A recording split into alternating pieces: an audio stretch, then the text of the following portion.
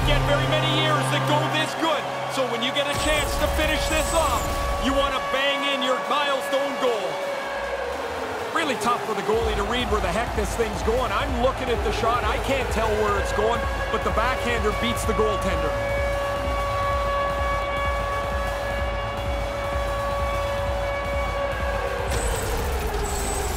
Looks like the hockey equivalent of going to the bullpen's happening here as they're going to change goaltenders.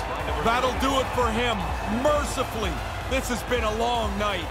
Colorado's goal-scoring abilities have been on full display so far this evening and here in the third. Really impressive display. They've moved the puck well, skated, really forecheck. Well, there's really nothing they haven't done tonight. Moves it to Pacioretty.